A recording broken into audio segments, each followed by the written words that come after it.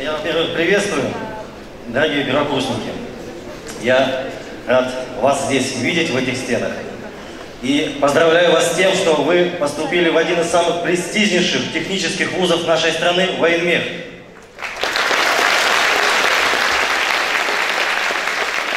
Сейчас у вас э, довольные лица, веселые, уже нет той нервозности, которая была при поступлении.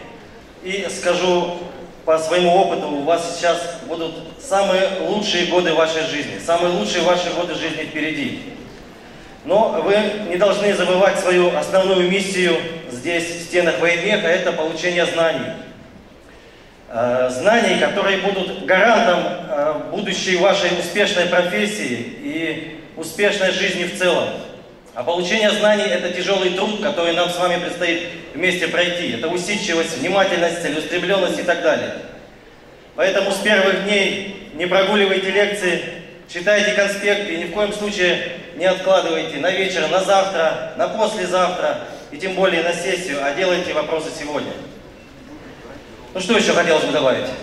Э, наш вуз, студенты нашего вуза издавна славятся не только интеллектуальными способностями, но и такими качествами, как культура, воспитанность, высокая физическая подготовка, умение общаться, уважение друг к другу и близким. Поэтому не забывайте, вы военмеховцы, и вам все это должно быть присуще.